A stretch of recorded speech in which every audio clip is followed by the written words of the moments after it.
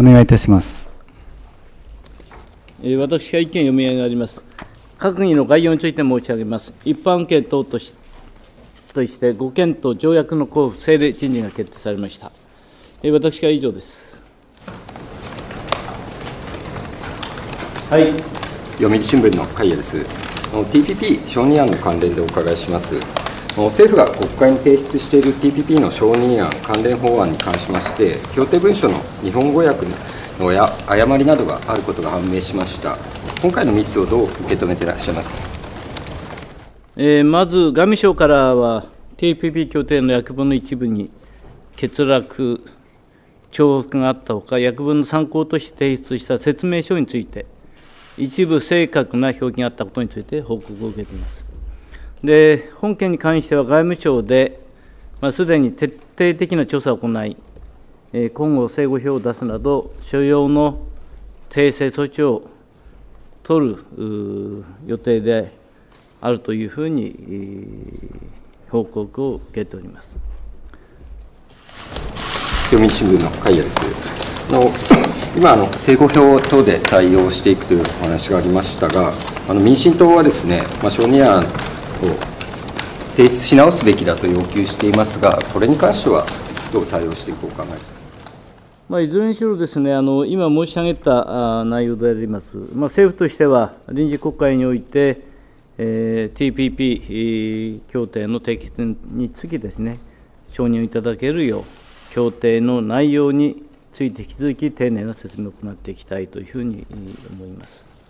はい、読売新聞の会です。あの政府としてはあの TPP 承認早期承認を求めているわけですけど、今回のミスが今後の審議に与える影響というのはどうお考えですか？あのそこについてはですね、今申し上げましたけれども、今回、この秋の臨時国会を控えてですね、改めて改定あの協定全体についてチェックを行う中で、えー、政府として、えー、今般訂正、えー、する部分を、まあ、特定するようになったわけでありますけれども、まあ、いずれにしろこうしたことがあって、まあ、徹底してですね、えー、二度と再びこうしたことがないように、えー、国会の中で、えー、しっかり審議をしていただいて、今度の国会で成立をさせたいということに気持ちは全く変わりありません。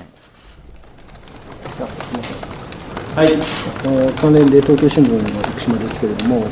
まあ、あの民進党側はですね、そのまあ違った内容のものをこれまで審議させられてきたと、今までの審議はまあゼロクリアにすべきだというような主張をされてるんですが、今回その、まあ、見つかったそのミスというのはですね、その体制に影響するものだというふうにお考えになりますあのいずれにしろこれは国会で決めていただく話でありますので、まあ、政府としてはあの今申し上げましたようにですね、えーまあ、徹底的な調査を行って今後正誤表を出すなど、まあ、所要の訂正措置を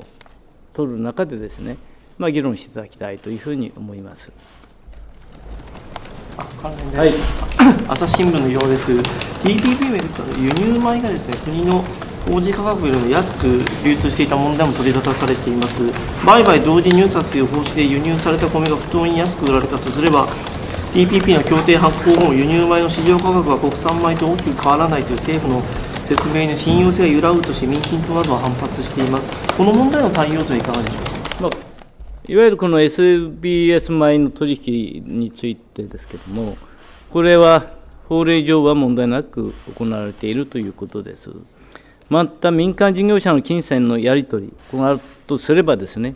民民の問題とはいえ、生産関係者などから SBS 米入札に関する不信感が生じる等の問題もあるわけでありますので、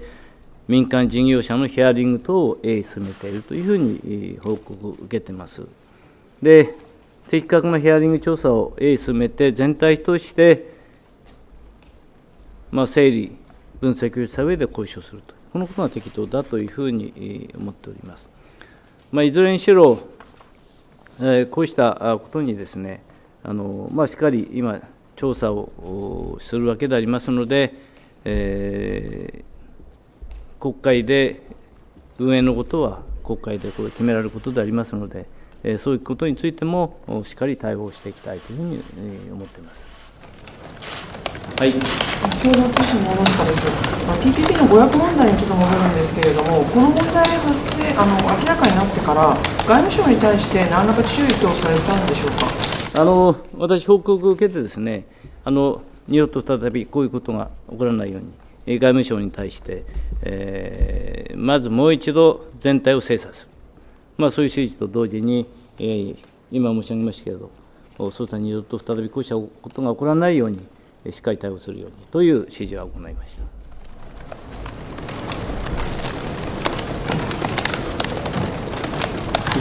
はい、朝日新聞の岩です。話題が変わります。北朝鮮の核実験を受けて、あのアメリカ政府が北朝鮮の銀行と取引がある中国企業の資産を凍結するなどの独自制裁を発表しました。今回のこのアメリカ政府の対応についての日本政府としての所感をお伺いできますでしょうか？えーまず米国がですね中国に本拠を置く一団体を中国に4名に対して、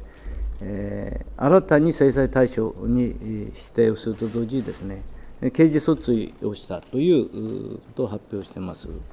え、今回の米国の措置というのは国際社会として北朝鮮に対する断固たる姿勢を示すそういうものであると思ってますので、まあ、政府としては強く支持をしたいというふうに思います。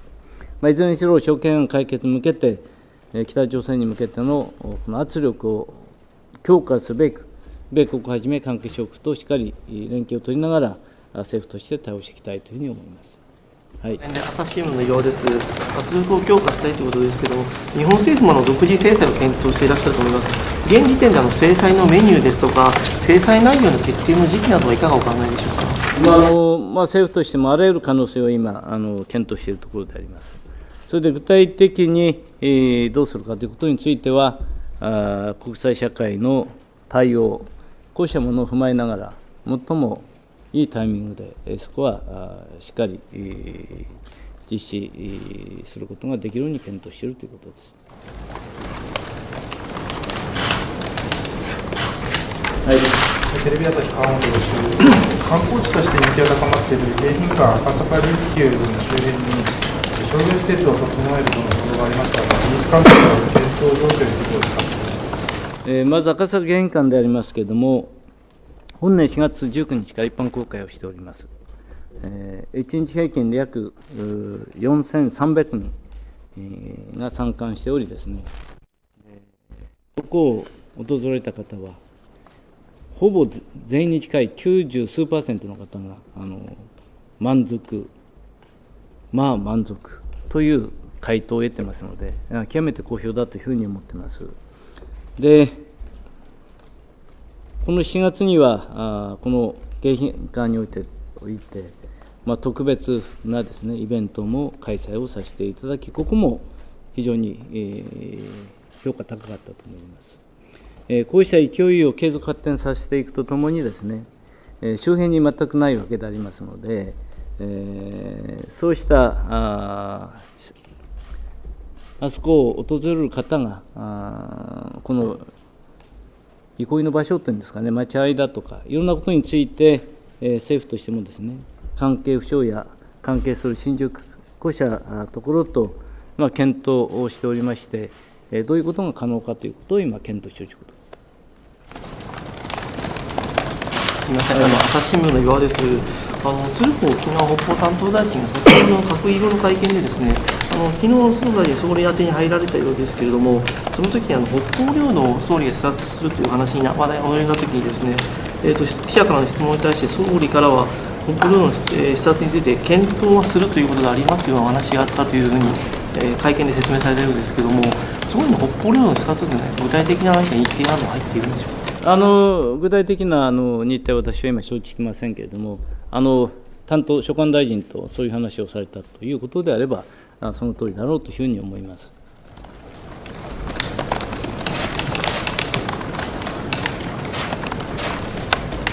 よろしいですか？は